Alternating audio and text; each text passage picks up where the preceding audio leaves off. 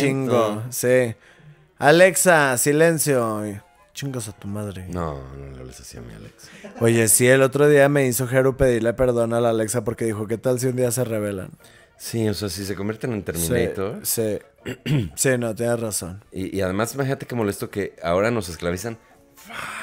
Y, ah, haz No. chistes.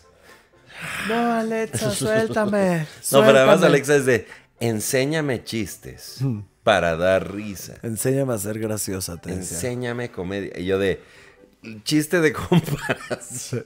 Oye, pero que se hacía, que se hacía su cuerpecito con todas las cosas digitales que tenías. Así, y agarraba la máquina de escribir de que, ¿qué es esto? Así se quedaba toda confundida. Pero se lo ponía aquí así bien Así. padre.